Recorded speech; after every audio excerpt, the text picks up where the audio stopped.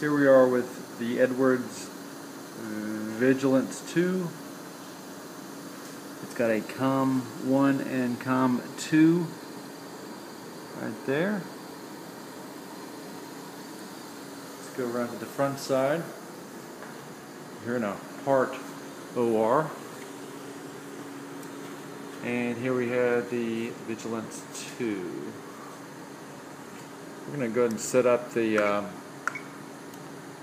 show you this. Show you how to set this up. You turn this till you click on the uh, wrench symbol.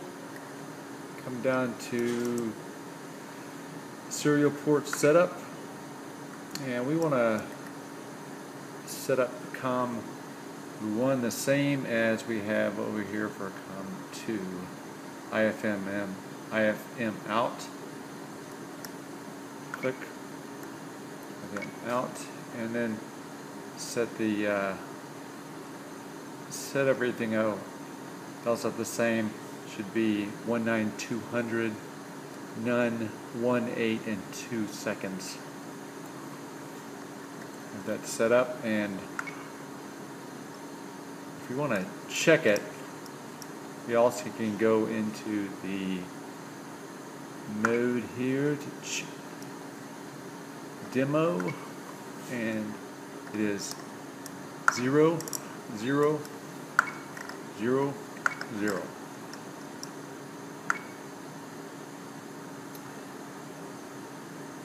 And now we as you see up here now we hit this button and start it. We'll click return and it's going to collect the um, the continuous uh, continuous output.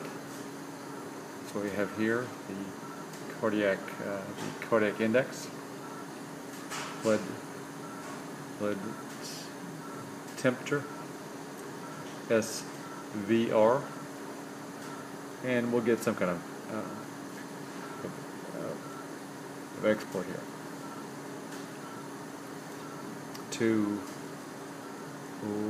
reset, you have to turn it off.